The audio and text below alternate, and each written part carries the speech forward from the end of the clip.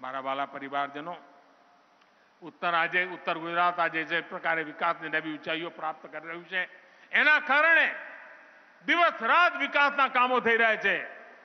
થોડા દશક પહેલા આપણે વિચારતા હતા કે ઉત્તર ગુજરાતની અંદર કોઈ ઉદ્યોગ આવી જ ન શકે.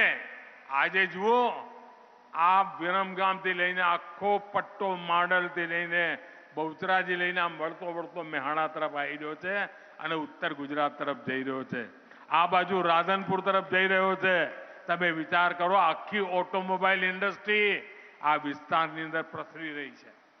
માંડલ હોય, બહુચરાજી હોય, આખી ઓટોમોબાઈલ ઇન્ડસ્ટ્રી, અમારું નોર્થ ગુજરાત રોજગારના પહેલાં રોજગાર માટે બહાર જવું પડતું હતું. આજે બહારથી લોકો રોજગાર માટે ઉત્તર ગુજરાત આવતા થઈ ગયા. આવી સ્થિતિ પેદા થઈ. દસ જ વર્ષની અંદર આખું ઔદ્યોગિકરણ દિશામાં આપણે આગળ વધ્યા છીએ. અને આજે આવક બમણી થઈ ગઈ છે. મહેસાણામાં ફૂડ પ્રોસેસિંગ સાથે સાથે દવા ઉદ્યોગ એન્જિનિયરિંગ ઉદ્યોગ, એનો પણ વિકાસ થવા માંડ્યો છે.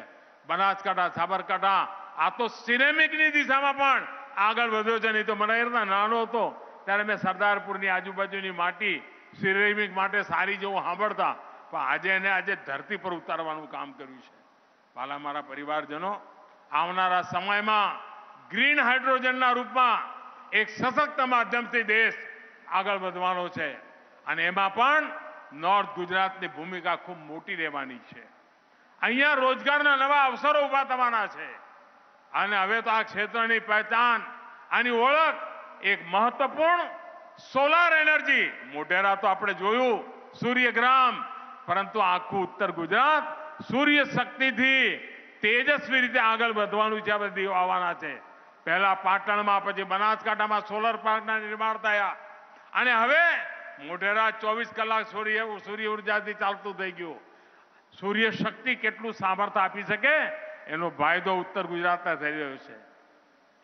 સરકાર આજે રૂપટોપ સોલાર પોલિસી ઘરે ઘરે પોતાના છાપરા ઉપર સોલાર એને વીજળી પોતાના ઘરમાં તો મફત મળે જ, પરંતુ સરકારને વધારાની વીજળી વેચી શકે. એની દિશામાં કર્યું છે, જે વીજળી પહેલા પૈસા આપે નહોતી મળતી, એ વીજળી હવે ગુજરાતનો માણસ વેચી શકે. એ દિશામાં આપણે આગળ વધી રહ્યા છીએ.